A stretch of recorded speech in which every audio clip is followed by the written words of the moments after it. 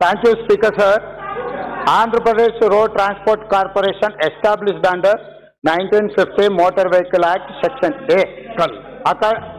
according to this act state bifurcation के बाद Telangana state road corporation बन गए। वो हिसाब से स्टेट का तेलंगाना के लिए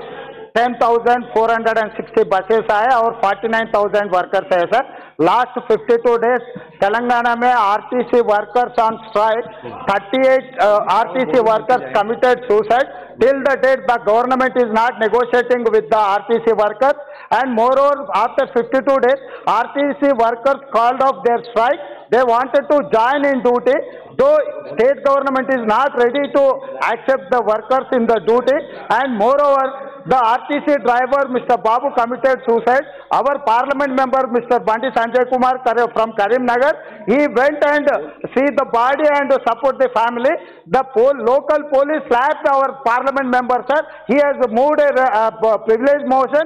कोई एक्शन नहीं लिया है और स्टेट गवर्नमेंट जो मैनेजमेंट ये वर्कर्स के 2014 से अब तक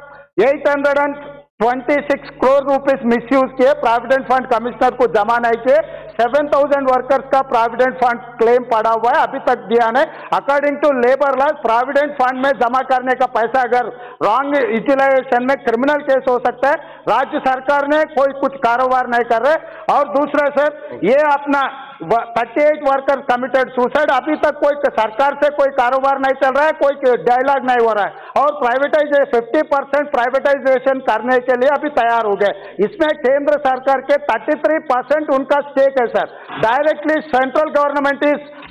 stakeholder इसीलिए मैं ट्रांसपोर्ट मिनिस्टर को यह पूछना चाहता हूँ सारा सख्त वर्कर्स एंड स्टेट गवर्नमेंट से डायलॉग इनिशिएट करके इश्यू रिजॉल्व करने के लिए मैं डिमांड कर रहा हूँ सर मान्य सदस्यगण जिन मान्य सदस्यों की आज रिक्वेस्ट